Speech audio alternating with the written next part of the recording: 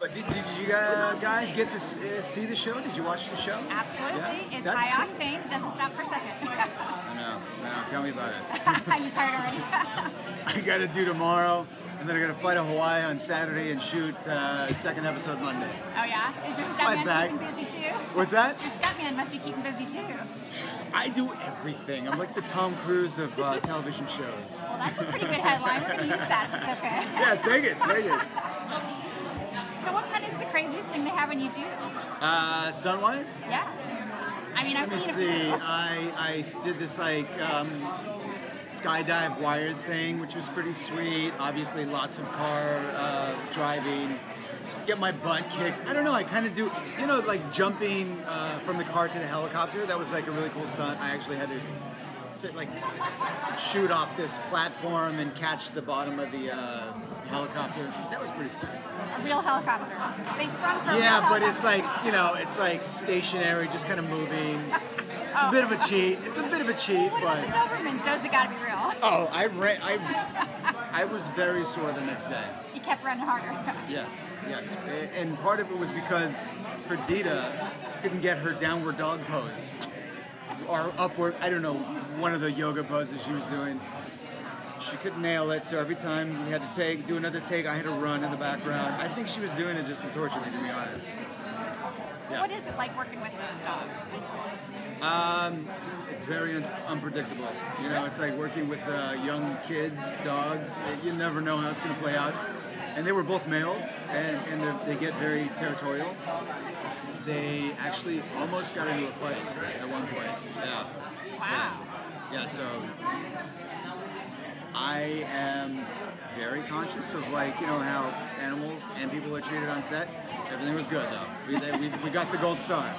Yes. What, what drew you this project? What was the thing that you say, like, this is the thing I want to do? You know what's funny is like it was really intimidating because uh, you know people stepping into an iconic role, the Joker or you know Batman. There's always going to be like built-in criticism regardless of the casting choice. That's the nature of people. They like having opinions. Yeah, it's like yes, yeah, they're terrible. They suck. They're bad choice, and they have their idea of what the character should be or who the casting decision should be. Uh, so that was like always there in the back of my mind, but you know, I had creative conversations with uh, the producers and Justin, and, and I just, I like knew that they got it, you know, in terms of like trying to update it, but not make it. You can't replace Tom Selleck. It's it's Tom Selleck, right? So you, the last thing you want to do is really try to replicate that, because then it's going to be like a bad version of Tom Selleck. So we wanted to take the spirit of it, but sort of like make it feel fresh and new, and I think Justin pulled that off really well. Oh yeah. Well, then they flipped the uh, character for Higgins. They Yeah, cast the female. which is cool. You Yeah. know, it's like uh, not only does it change the dynamic between Magnum and Higgins, it's also like just a badass role for a woman to play. You know, she doesn't. She's not there just taking orders and, and you know, eh, hanging out in the kitchen or just being pretty. She like kicks people's butts and gets me out of situations all the time. You know, so so it's it's it's cool in that sense. Yeah. you guys comparing bruises yet?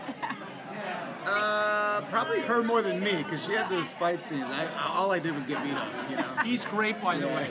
He's really good. No I'll, I'll send. I'll send the check. I'll send the check. Keep keep saying nice stuff. Is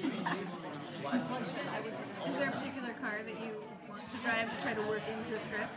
Uh, you know, I am very okay with that 488. That thing is a beast. It's beautiful. It's like I'm not that flashy kind of person, but there is something kind of special getting behind the wheel, pressing that button, and hearing the engine roar. It's kind of nice. Thank you guys so much. Thank you.